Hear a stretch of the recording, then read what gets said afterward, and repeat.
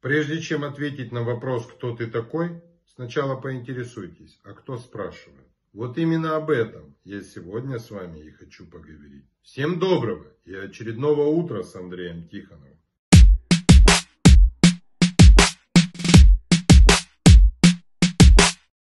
Сегодня, дорогие уважаемые мои подписчики, мы с вами разберем очень важную и часто встречающуюся манипуляцию, которая называется «ты никто». Великому сожалению, в нашем обществе существуют такие люди, которые считают, что они вот какое-то всемирное такое благоволение да, человеческое, что вот на них просто все должны смотреть и восхищаться, какие они прекрасные. Но они, с другой стороны, считают других людей каким-то сборищем второго сорта. Ну ладно бы, если бы они считали нас, там, допустим, других людей сборищем второго сорта. Так они это очень часто еще и подчеркивают в диалоге. А в диалоге они это делают следующим образом.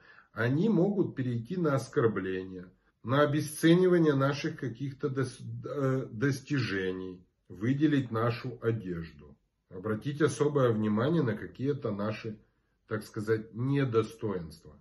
Ну, может быть, у какого-то человека косые глаза, может быть, у кого-то неровные зубы, у кого-то торчащие уши. Все что угодно. Эти люди не брезгуют оскорблять и принижать чувство достоинства другого человека.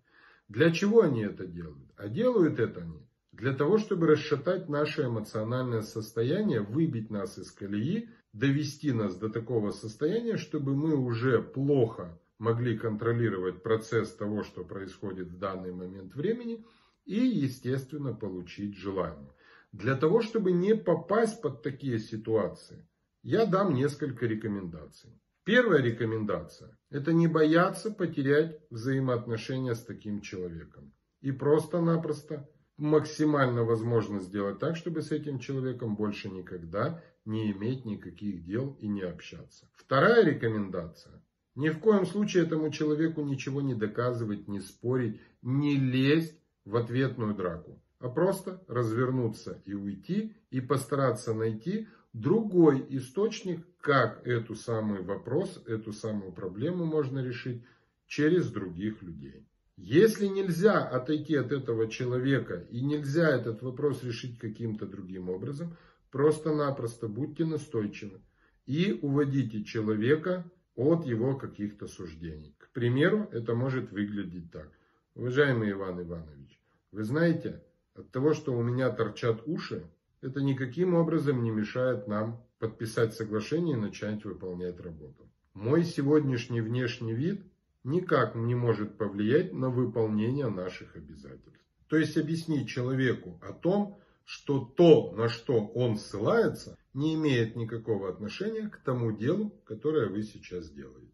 Есть такой товарищ Гевин Кеннеди. Он определил четыре типа поведения человека. Наши русские педагоги его типирование перевели на наш русский язык и назвали его подростком, робким, танком и лидером. И вот как раз то, что я сегодня описывал, этим инструментом пользуется как раз танк. На своих закрытых встречах я максимально подробно объясняю, как нужно себя вести с такими людьми и как делать так, чтобы перехватывать у них власть и начать властвовать над ними. Если вы, дорогие уважаемые мои подписчики, сталкиваетесь с такими людьми, которые постоянно обесценивают ваш труд, вашу внешность, может быть это ваш коллега, может быть это родственник или начальник, и вы не знаете, как с ним себя вести, приходите ко мне на бесплатную диагностику, разберемся именно в вашем вопросе и посмотрим, чем я смогу вам быть полезен.